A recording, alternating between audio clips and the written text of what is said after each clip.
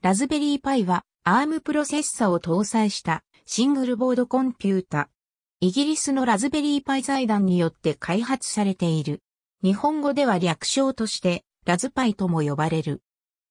教育で利用されることを想定して制作された。IoT が流星した2010年代後半以降は安価に入手できるシングルボードコンピュータとして趣味や業務等としても用いられるようになった。ラズベリーパイはかつてイギリスで教育用コンピュータとして普及した栄光ん茶 BBC ミクロの再来として学校で基本的なコンピュータ科学の教育を促進することを意図している。モデル A、モデル B という名称も BBC ミクロに由来しており、サポートされるコンピュータ言語の中には BBC ミクロで利用された BBC ベーシックも含まれている。ハードウェア的には栄光音社が開発した ARM プロセッサを搭載している。また、 Acorn のオペレーティングシステムであるリスク OS も Raspberry Pi 用がリスク OS オープンリミテッドより公式リリースされている。内蔵ハードディスクやソリッドステートドライブを搭載しない代わりに SD メモリーカード、またはマイクロ SD メモリーカードを起動及び長期保存用のストレージに利用する。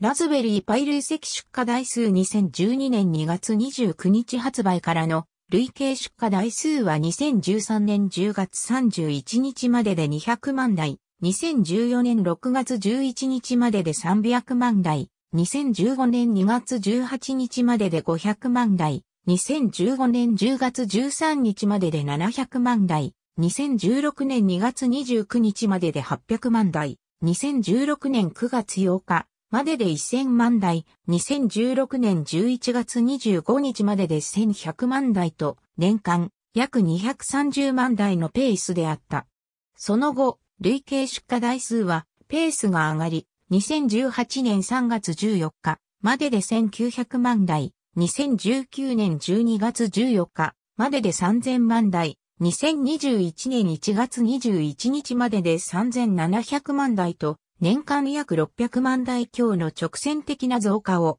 記録した。なお、ラズベリーパイ3は64ビットに対応した初のモデルだが、ラズベリーパイ4の発売まで公式 OS であるラスビーンは32ビット版しかリリースされていなかった。2012年2月19日、ラズベリーパイ財団は SD カードから起動できるオペレーティングシステムの SD カードイメージを発表した。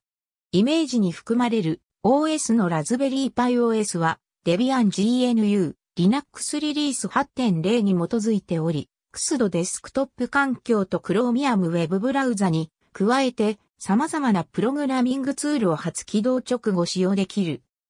また、この OS は、ラズベリーパイだけでなく様々な他のプラットフォーム上で、エミュレートできるように県上で実行できる。このほか、アーチリナックスとフェドラ、ウブンツメイトなどもサポートされている。ラズベリーパイ財団は、その後、カナダのセネカカレッジで開発された、フェドラバージョンをリリースする予定。財団は、プログラムをやり取りするためのアプリケーションストアを開設予定。ラズベリーパイ OS は標準でソフトリアルタイムシステムとなっているが、ユーザーモードプログラムでのハードリアルタイム性能が必要な場合は Linux、RT カーネルを入れることもできる。また、ベアメタルで使用することも可能。